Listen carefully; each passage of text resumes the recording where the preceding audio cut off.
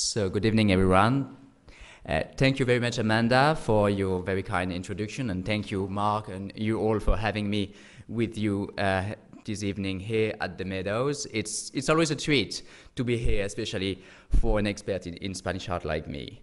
And the timing, as Amanda said, is also quite perfect, as I just opened uh, last October in Paris a show on El Greco, while the Meadows had opened its highlights from the Bowes Museum show using El Greco, El Greco St. Peter for the signature image. Very good choice, by the way. In fact, El Greco and Dallas is an old story that started almost 40 years ago when the fondly remembered Bill Jordan did the El Greco of Toledo exhibition at the DMA. The catalogue of my El Greco exhibition in Paris is dedicated to his memory. So from Texas to Texas, the loop is closed. But El Greco then. The story of El Greco is first of all the story of a destiny. The destiny of a man who changed life after he had already become a renowned Byzantine painter in Crete, where he was born around 5041.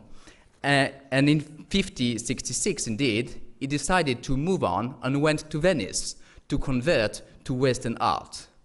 No doubt he already knew about the Serenissima when still living and working in his native Heraklion.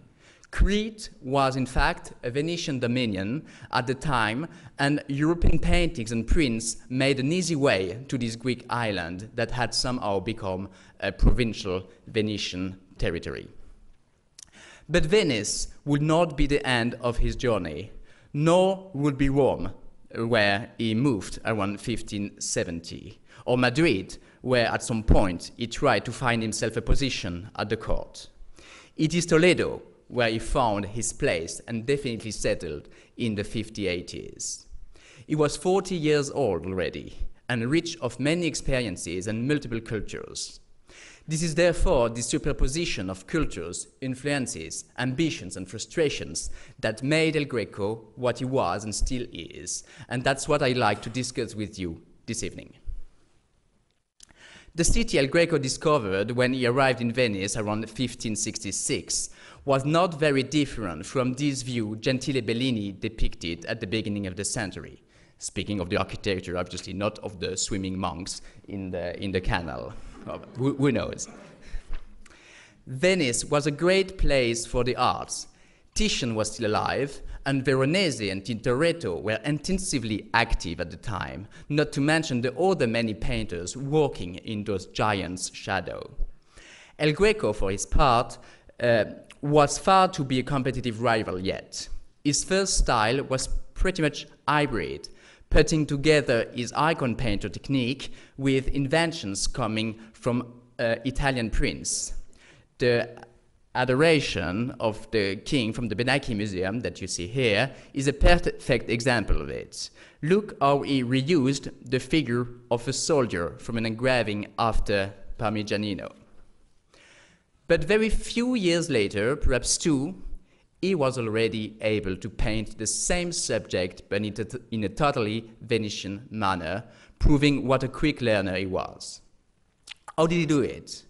By copying and imitating the Venetian masters, starting with Titian and his great sense of color. Veronese and his lavish and elegant compositions. Tintoretto with his dramatic use of space, light, and movements. So that, around 5070, El Greco had become a true Renaissance painter. I show here one of his most achieved painting of the time for its sense of space and color, its mastery of perspective and its dynamic articulations of interacting figures.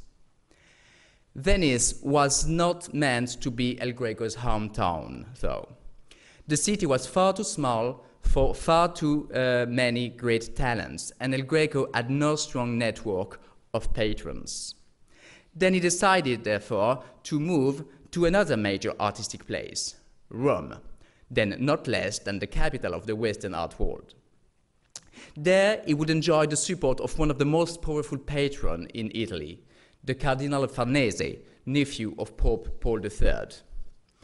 Cardinal Farnese welcomed El Greco in his palace, the most beautiful private house in Rome in, 70, uh, in 1570. All of his had, in, had been arranged by a great friend of El Greco and an artist entrusted by the cardinal, for whom he painted a famous illuminated manuscript known today as the Farnese Hours and held at the Morgan Library in New York you see it on this portrait uh, El Greco painted of, the, of this precious friend, Giulio Clovio, uh, holding the famous uh, book. Uh, this painting ended up in the Farnese collection and became therefore part of the Capodimonte Museum since the 18th uh, century. But being at the, the Palazzo Farnese immensely favored uh, El Greco, giving him access to one of the most intellectual circles in Europe, a humanist library of almost incomparable richness, one of the greatest collection of antiquities and paintings by the most renowned artists, starting with Michelangelo, who had designed the facade of the palace. The fascination for antiquity was unavoidable feelings for artists of this time, and even El Greco, who actually considered himself as a Greek to be the legitimate heir of the ancients, couldn't resist to classical art. One can see that in the Minneapolis version of the purification of the temple, for instance, where the artist quoted several of the most famous classical sculptures from the Vatican collections. The Sleeping Ariadne, uh, here, you have it here. Um, so the, yeah, the Sleeping Ariadne, the, uh, that's from the Laocoon, well, back side and front side for this figure. And this temple that you can see here, that got destroyed very few years after uh, El Greco's departure uh, from, uh, from Rome. Together with the ancient world, Michelangelo drew most of El Greco's attention. The great master had died a few years before El Greco's arrival, but his art was still reigning in the papal city, embodied by his great achievement in the Sistine Chapel. But, boldly enough, El Greco didn't consider Michelangelo a good painter. Can you imagine that? An opinion that he would eventually express too openly and too publicly, being consequently forced to leave the Farnese Palace after the cardinal, main patron of the late Michelangelo, felt offended. On the contrary, as a sculptor, Michelangelo pleased and did interest El Greco, who reused the invention of the Pieta Bandini, now in Florence, but then in Rome, in two paintings dating from his Italian period the Philadelphia Johnson Pieta and the recently discovered entombment, now part of the Alana collection. El Greco was not the only one to emulate Michelangelo. In fact, he was active in a very competitive market of small devotional pictures inspired by the great Florentine master's inventions. His main rival was Marcello Venusti, who had direct access to Michelangelo's drawing and copied them in painting, only adding color. It was but far from the ideas El Greco had about painting. For him, faithful to the Venetian school, the color and the paintbrush were most important and should never surrender to the cold lines of drawings. But well, chased out from uh, the Farnese Palace, El Greco found himself networkless again and again decided to move to another place, Toledo, and this would be the one. Rome was not all bad memories for El Greco, though. There, he met with Luis de Castilla, with Father Diego was a very influential priest in Toledo.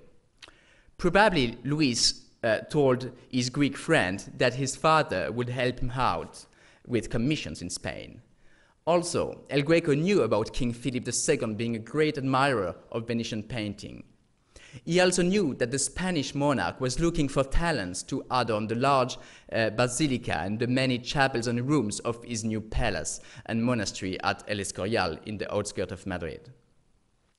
What is certain is that Louis kept his word, and no later than 1577, his father commissioned from El Greco an imposing painting, the Disrobing of Christ, the Expolio in Spanish, for one uh, of the most prestigious spaces in Toledo, the chapter sacristy uh, in the cathedral.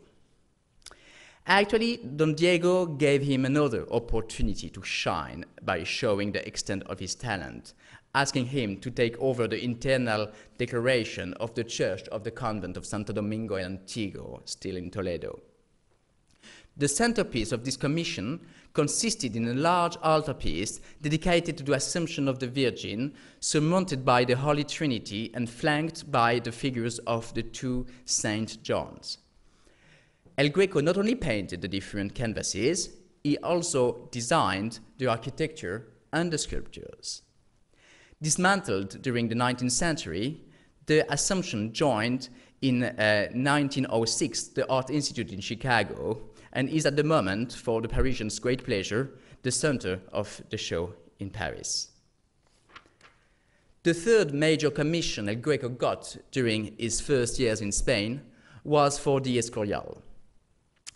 It's actually not clear whether it was the king's or the artist's own initiative. The painting that bears the romanticized title of The Dream of Philip II represents the Spanish monarch, surrounded by the Pope, the Doge, a cardinal, and some other military men, all kneeling and worshipping the miraculous vision of Jesus' monogram, and the celestial, uh, I mean, with the celestial court, obviously. While in the left background, the souls are waiting for salvation, sorry, in the left background, sorry, are, are waiting for salvation. On the right, the damned are being eaten by an infernal whale-like monster or hung over, or hung over a sea of, uh, of lava. The king, who was a great admirer of Venetian art, must have been pleased by the picture. In fact, he immediately commissioned one more to the artist, a larger one, intended to take place in the Escorial Basilica. He had to deal with the, with the representation of the martyrdom of St. Maurice. And El Greco prob probably felt very confident after his first successes, but he actually did not understand uh, what the king had in mind for his sanctuary. Therefore, he painted a very sophisticated composition whose iconography was not that much the proper sacrifice of the saint, relegated in the background, than the discussion between the general and his men, convincing them to welcome death. In short, while the king was expecting a very clear image supporting the believer's devotion by showing a cruel, bloody slaughter, El Greco painted a humanist representation, exemplif exemplifying the force of rhetoric and persuasive speeches. The king want wanted action, the artist gave him chattery. That was the end of it. Philip II commissioned the final work from another painter, an Italian one, Romulo Cincinnato. And El Greco did not get any other opportunity to work for the royal patron. What was certainly a hard blow and a final stop for El Greco as a court painter did not dim his career in Toledo. Um, Toledo, at the time, was a much more powerful, rich, and influential city than Madrid was, in fact. Short after the St. Maurice failure, El Greco was to paint his most ambitious, ambitious composition, and by all means his most famous ever since, the burial of the Count of Orgaz. No picture better demonstrates the essence of El Greco's art. It was painted for his own parish church, Santo Tomé, and the contract for the painting is, is dated in March 1586. El Greco agreed to finish the painting by Christmas of the same year. The picture illustrates a popular local legend. In 1312, a certain Don Gonzalo Ruiz, native of Toledo and señor of the town of Orgaz, died. He was a pious man who, among other acts of charity, left, had left money for the enlargement and endowment of the Church of Santo Tomé. At his burial, Saint Stephen and Saint Augustine miraculously appeared and intervened to lay him to rest. The most striking aspect of the composition is the juxtaposition of the imaginative vision of heaven with the burial scene, in which all the figures are dressed in contemporary costumes and presumably represent distinguished citizens of El Greco's Toledo. The dichotomy in, the style, in style between the upper and lower parts is one of the most remarkable features of the painting. In the lower zone, El Greco meticulously reproduces the appearances of persons and objects. The heavenly scene, by contrast, is far more abstracted. This peculiar synthesis uh, of real and superreal is essential to El Greco's art. The painting remains in the chapel, the actual scene of the event, for which it was ordered. Already in 1588, people flocked to see it. The immediate popular reception depended, however, on the, on the lifelike portrayal of the no notable men of Toledo of the time. Indeed, this painting, sorry, I go back to that, to that. Indeed, this painting is, sufficiently, is sufficient to rank El Greco among the few greatest portrait painters ever. Nowadays, the painting can communicate to us a whole society and age as perhaps no other single work of art can, and at the same time offers us one of the great marvels of painting. This is the first completely personal work by the artist. There are no longer any references to Roman or Venetian formulas or motives. He has succeeded in eliminating any description of space. There is no ground, no horizon, no sky, and no perspective. Accordingly, there is no conflict, and a convincing expression of a supernatural space is achieved. This is the beginning of El Greco's real development. The process of dematerialization and spiritualization has begun. The next stage in El Greco's career, as well as in his stylistic evolution, is the even more impressive commission um, he received from a church in Madrid, the Colegio de Dona María de Aragon. The official name of uh, the institution was Colegio de Nuestra Señora de la Encarnación, College of Our Lady of the Incarnation. It was an Augustine seminary in Madrid for the training of priests. The construction, the construction of the church began in 1581, and El Greco, who was resident in Toledo and had relatively few contacts in Madrid, was fortunate to obtain the contract for the main altarpiece. The agreement between the painter and the Council of Castile was signed in December 1596, so 10 years after the commission of the, of the Count of Orgaz, and required El Greco to deliver the altarpiece, including carpentry, sculptures, and gilding. Uh, sorry, by Christmas, uh, he had to finish that by Christmas uh, 1599. But as often, the altarpiece was only completed in July 1600. El Greco was not very reliable about timing. The Doña Maria de Aragon altarpiece was the most important commission El Greco received, and he was paid just under 6,000 ducats for it, a vast sum, sum that more, uh, and more than he earned for any other work he did. The altarpiece was dismantled in 1910, 1810, following the suppression by Joseph Bonaparte of the religious orders in Spain. No detailed description of it uh, uh survives, unfortunately, but according to a document of uh, 1814, uh, it comprised seven paintings and six sculptures.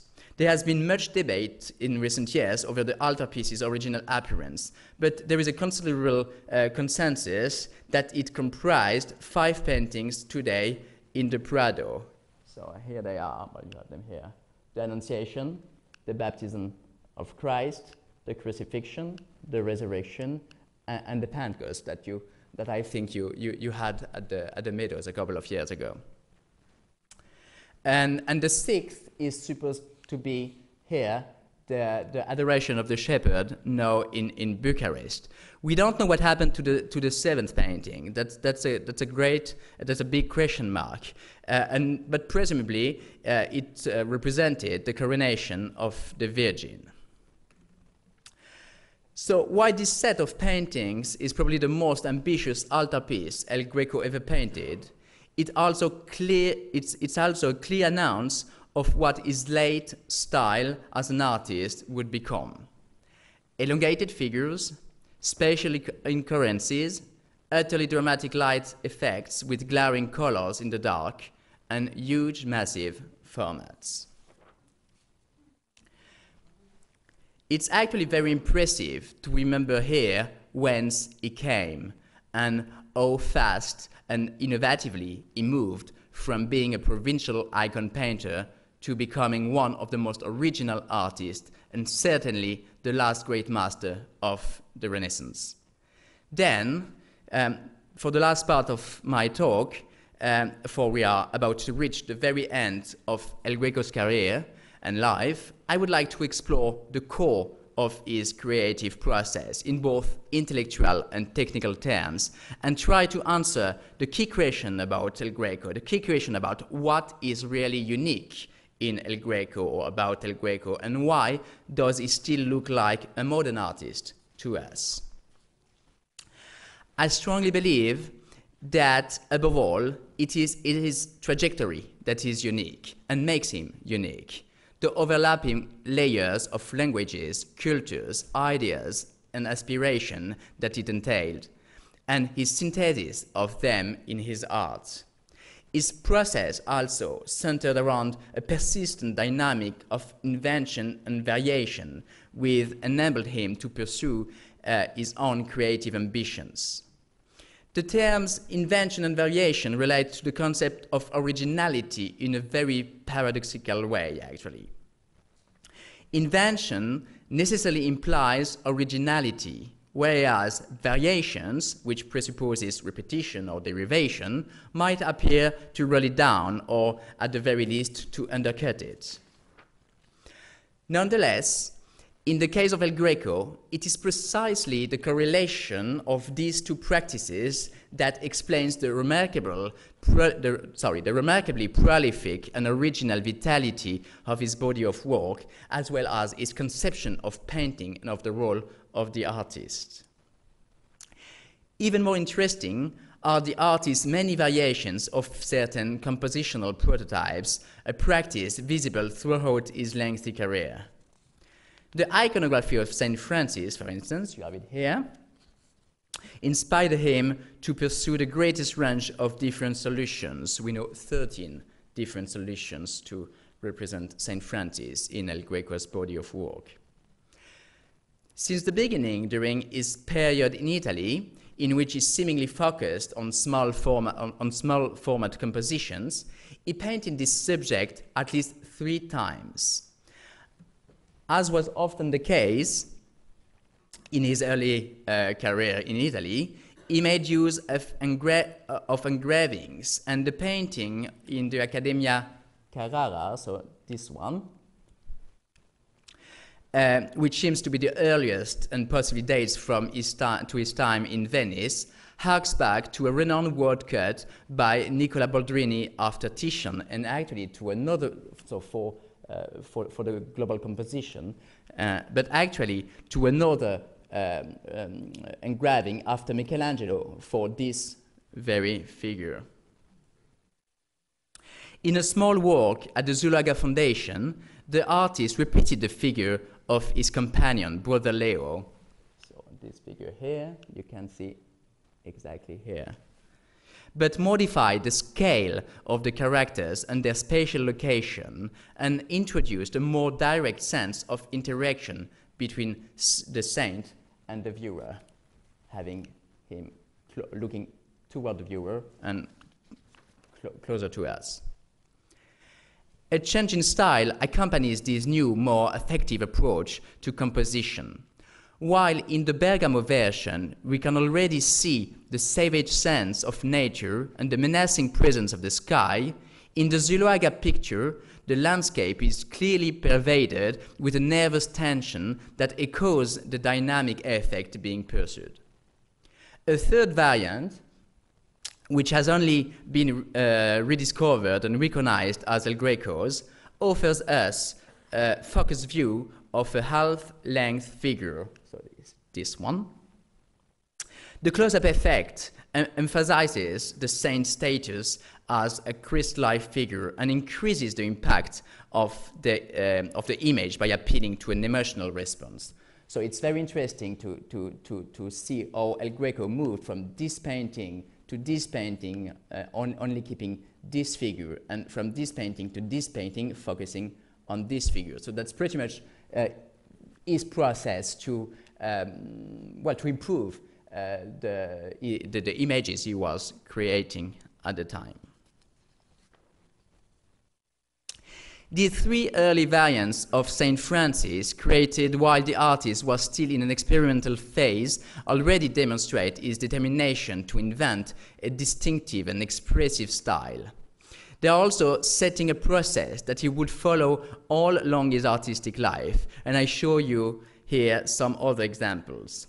So one is obviously the example of St. Peter, as you have the, the, the Bowes version, which is the first version on view here uh, at, the, at the Meadows. So it's very interesting to, to, to, to track the, the changes he, made from one painting to the other. So having the, the, the yellow cape of St. Peter on his shoulder here, while he was on, on, on, uh, on his legs here, and the appearance of the keys that are missing here, uh, and, the, and the blue that became uh, quite brighter in the, in, the, in, the, in the second version. So this is the first version made, uh, the first version of this theme made in Toledo in the 80s uh, when he arrived. Then that is the first version of the second type of uh, St. Peter's interior, and that's the, the, not the final version, that's the best version of this second type of St. Peter in Tears. And the, it, this one is, at the, um, is in the Phillips collection in, in Washington, D.C. So it's very interesting, and, and, it's, a, it's a clear, it's very interesting to study El Greco, studying uh, the sequences he, he, he, did actually. Another very interesting sequence is the one for uh, about Saint Magdalene. Here you have, uh, it's pretty much the same date of the Saint Peter in Tears from the Bowes Museum you have here on view at, the Meadow. So it's still quite Venetian in style. Uh, uh, this one is the mid 80s, so it's, it's, it's, it's a bit different, and, and it's no more the, the, the saint being uh, in the process of her conversion. She is now totally converted, and you see that she's also pretty much covered uh, in comparison to, to this first uh, invention. Also because the church um, uh, edicted a rule that the Saint Magdalene has to be uh, depicted, has to be represented, uh, totally covered and, and already converted to, to, to, to the faith. So she is no more the sinner, she is, she's already the saint. Uh, but what is interesting is that from this version, which is the first version of the second type, uh, and this version, which is an autograph version at the Nelson Atkins Museum in Kansas City, uh, it looks like the same, but it's not the same. You, you, you, you can notice that the, the rock here on the left moved to the right, that the cloud here is much more um, powerful, that the skull and, and the vase moved uh, to the right too. So it looks like the same, but it's not the same. And, and again, El Greco tried to, to improve uh, his uh, representation, his depiction of, uh, of uh, the, the repentant Saint Magdalene. One of the most fascinating variations uh, concern, concerns El Soplon, or boy blowing on an ember. The theme harkens back to a lost painting by the ancient Greek artist Antiphilus, so obviously ancient Greek artist that, that appeared on, on El Greco. The light reveals a face to the same extent that it illuminates it. We can thus perceive the luminous, the luminous intensity to the same extent that one has the impression of hearing the expulsion of air blown onto the flame in quite a cinematic way. It is indicative that the painting was dubbed El Soplon, a term that means in Spanish both blower and revealer of secrets. This theme came to occupy the painter in a series of variations. The sequence of the three expanded versions, you have them all here, uh, allows us to follow his process from both a technical and an, an intellectual point of view. In the first, so this is the one from Harewood. Uh, in the first, El Greco elaborated the picture by adding two more figures. He constructed the composition with dynamic brushstrokes, organizing it with a spatial architecture articulated and unified, unified by light. The daring second version is pure virtuoso painting.